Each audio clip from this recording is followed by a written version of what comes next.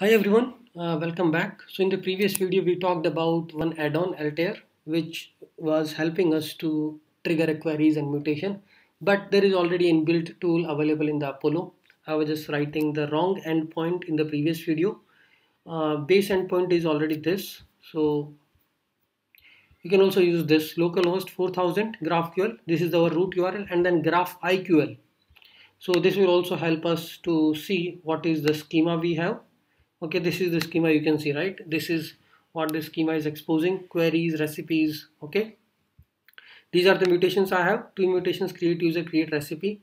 And these are different queries user user by ID all recipe and recipe by ID and in the documentation you can see this is how you can trigger the query.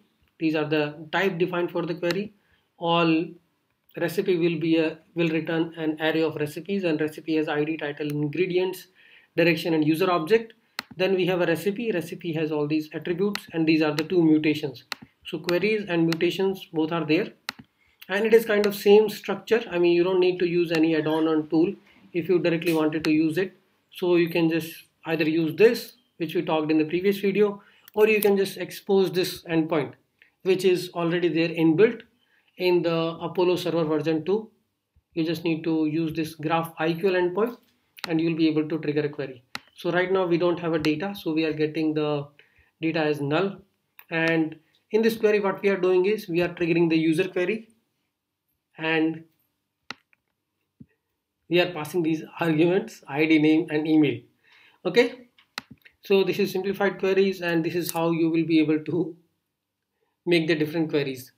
And you can also pass the query variables http headers like you wanted to send a token. So this is like a http post request you are making. This query is going in the payload.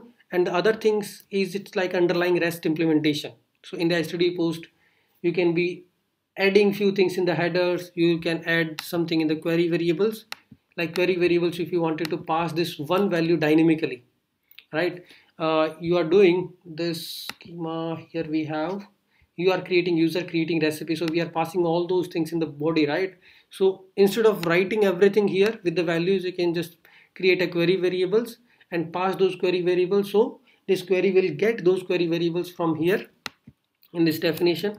So query variables are something like this. Here I have like uh, title. And you will be able to use the title here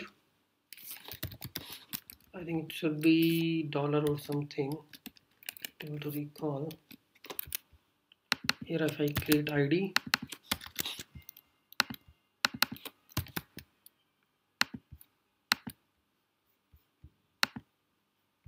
okay this is helping I think. So this is how you can create a variables. You can append headers and this is how you can pass the dynamic values.